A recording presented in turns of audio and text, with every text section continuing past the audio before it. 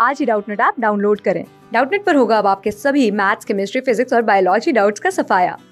बस अपने क्वेश्चन की फ़ोटो खींचो, उसे क्रॉप करो और तुरंत वीडियो सोल्यूशन पाओ। Download now. नमस्कार दोस्तों डाउट नट में आपका स्वागत है।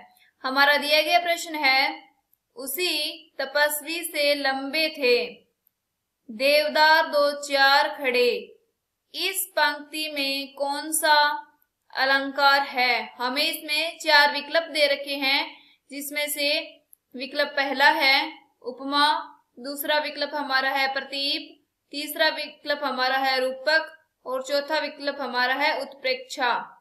हमें इसमें यह बताना है कि जो हमें पंक्ति दी गई है, उसमें कौन सा अलंकार है? तो सबसे पहले हम ये देख लेते हैं कि अलंकार किसे कहते हैं। अलंकार। अलंकार शब्द का अर्थ है वह वस्तु जो सुंदर बनाए या सुंदर बनाने का साधन हो।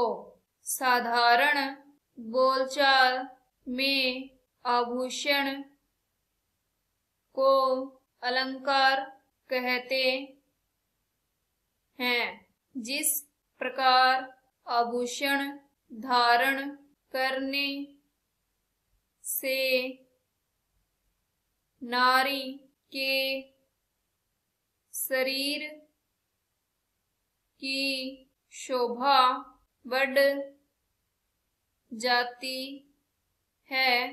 उसी प्रकार अलंकार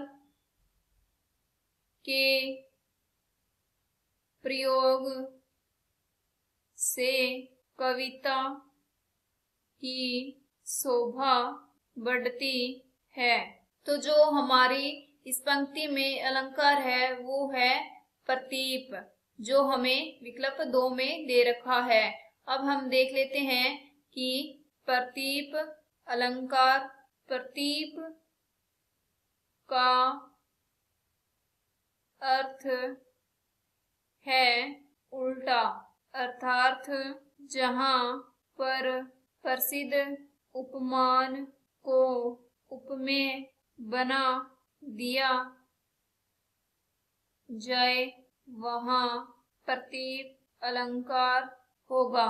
जैसे वाक्य में स्पष्ट है कि प्रसिद्ध उपमान देवदार को उपमेय तथा उपमेय तपस्वी को उपमान मानकर वर्णन किया गया है कि जो हमें पंक्ति दे रखी है कि उसी तपस्वी से लंबे थे देवदार जो चार खड़े। तो जो इसमें तपस्वी शब्द दे रखा है, ये उपमेय है, लेकिन इसको उपमान मान रखा है और जो देवदार है, वो उपमान है, उसे उपमेय मानकर इसमें वर्णन किया गया है। तो जो हमारे इस पंक्ति में अलंकार होगा, वो होगा प्रतीप अलंकार, जो हमें विकल्प दो में दे रखा है। धन्यवाद। क्लास सिक्स से ट्वेल्थ से लेके NEET I I T JEE mains और एडवांस के लेवल तक, दस मिलियन से ज़्यादा स्टूडेंट्स का भरोसा।